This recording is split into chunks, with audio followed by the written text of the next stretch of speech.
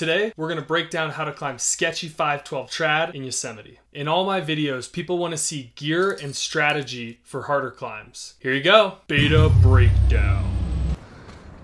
I would certainly recommend staying closer to the wall here so you don't end up like us, bushwhacking. Oh yeah. This is so clearly the path. Where I'm from, this is a trail.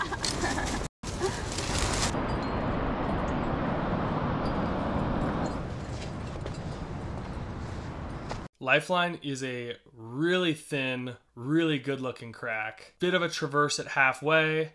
First trad climb in four months, so should be exciting. When I'm gearing up for a climb, especially one that's hard for me and thin, I always look at Mountain Project or a guidebook for an idea of what to bring. Mountain Project says you want one number two doubles from 0.5 to Black Alien, extra in green and blue alien, along with a single set of large offset nuts and a set of brass offset nuts. I honestly don't know alien sizes, so I'm guessing that's about 0.2, 0.3. What am I bringing on the climb? Number two. I'm also bringing number one because it looks like there's another pot up there that's a little smaller. Going down, I have doubles in 0.5, doubles in 0.4, doubles in 0.3, doubles in 0.2. I believe that blue and green alien are about the size of black totems, so I got two black totems as well.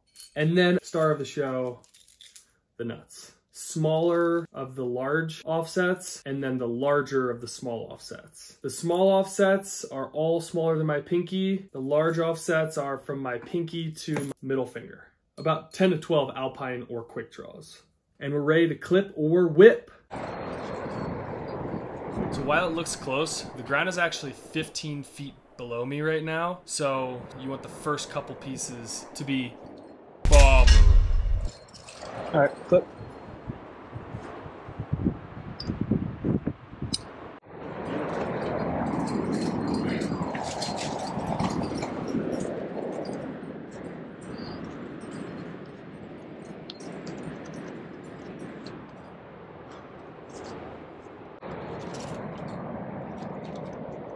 The number two looks really good. I brought the number one, but I know it's not going anywhere above me. And might as well ditch this one while I can. And reduce the weight.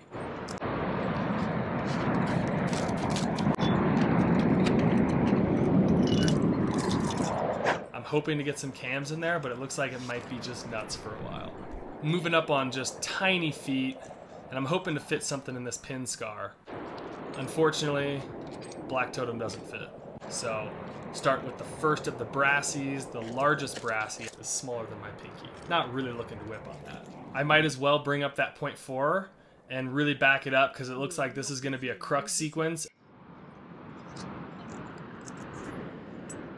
That's a good nut, but you'd be pulling out on it, not down.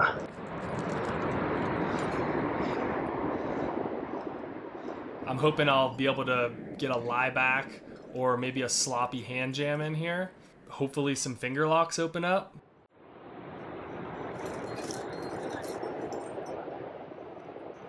Yeah, good.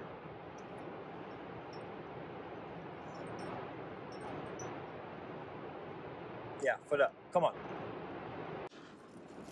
Just standing on the smallest feet, hoping they don't slip. I finally get a decent nice, slopey hand jam in there.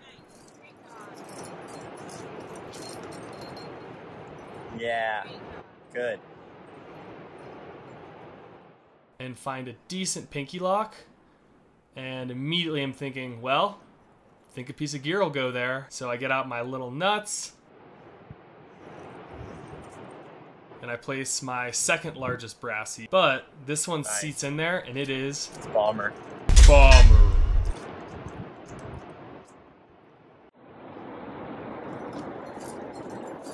Comes this exciting sequence moving above a couple pieces of small gear and get a jug flake. Yeah, there you go.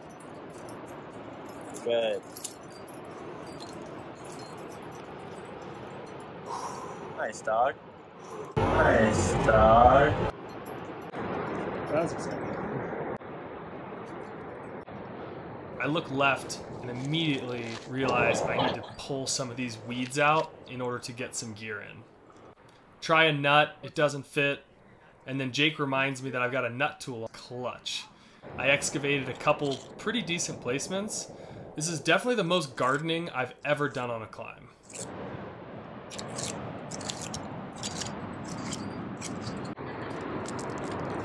More small nuts. Got two green Brassies B2B. With these, decent amount of space between my last one, so back it up with another okay, really tiny placement at a point one, which I'm not particularly psyched on. And I'm thinking there's a crux move higher up, so if I can get ideally one really good piece or two okay pieces in, then should be ready to tackle that.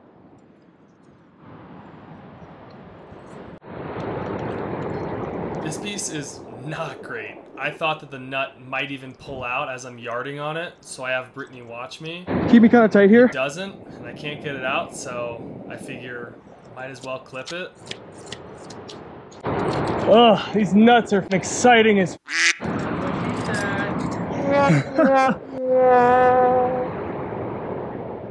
really wanted to get something above four micro placements back to back to back to back to back. Still not really psyched on climbing super high above those two. I'm on the lookout for one more decent piece. The nut tool is back out and extremely useful as I excavated a quite exciting blue totem placement. It's okay there, but sometimes cams are best flipped around so that the lobes align a little better. Here I found a good edge on this side and so stuck it in there and felt good enough to bust some crux moves above it.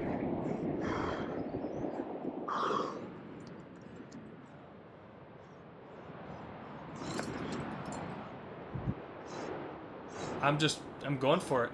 I see there's some decent side pulls. Kind of committing. You have to get high up on your feet. I'm feeling pretty good here. And then I just grab a tree in the jug, and immediately alarms go off. Coming, coming, coming, coming! Bullshit! I literally did the move.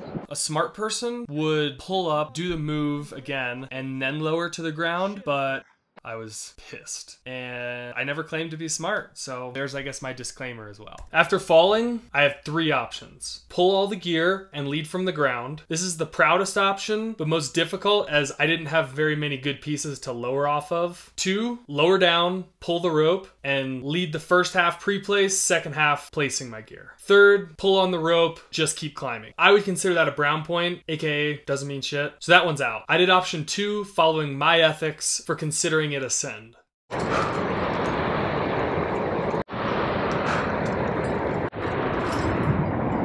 Heading back up, flipping gear as I go.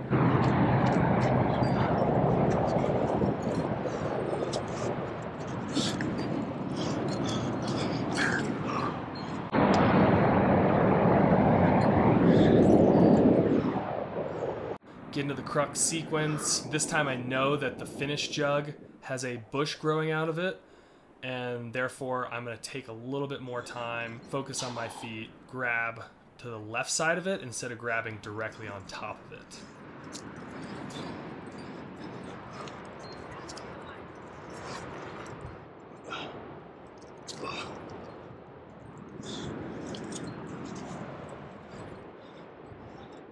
That's all the difference. Get to the halfway ledge.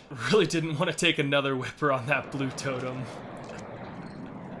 Looking up at the next crack, it looks super sweet, thin. So I place a nice 0.5 buried in a constriction, almost like a nut, considering my last one is 15 feet down and to the right. Want to feel really good about that 0.5, and I do.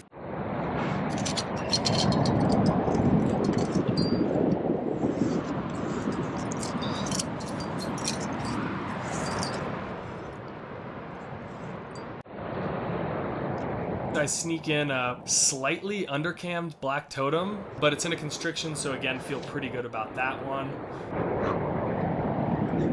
Moving up the finger crack and get to a jug. Don't worry, there's a really good nut placement.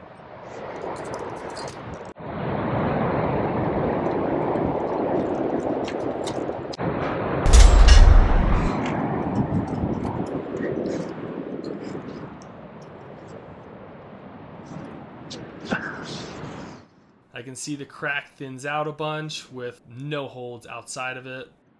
Who said pistol squat? Sneak in a really nice black totem, ready to pull the last couple moves, which are honestly some of the hardest on the route.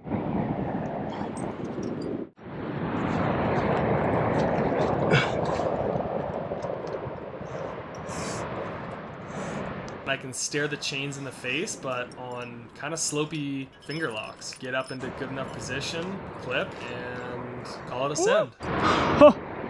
Holy shit. All right, take on.